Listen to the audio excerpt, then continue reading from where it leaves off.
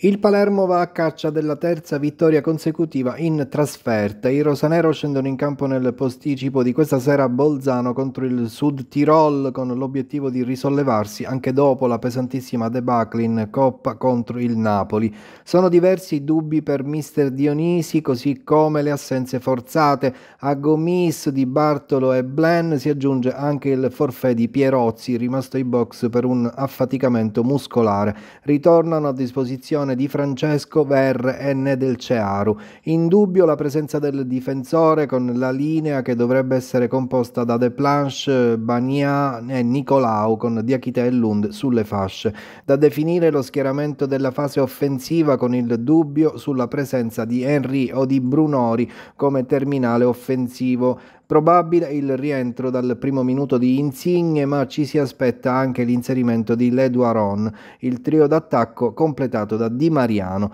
Allo stadio Druso il fischio di inizio alle 19.30.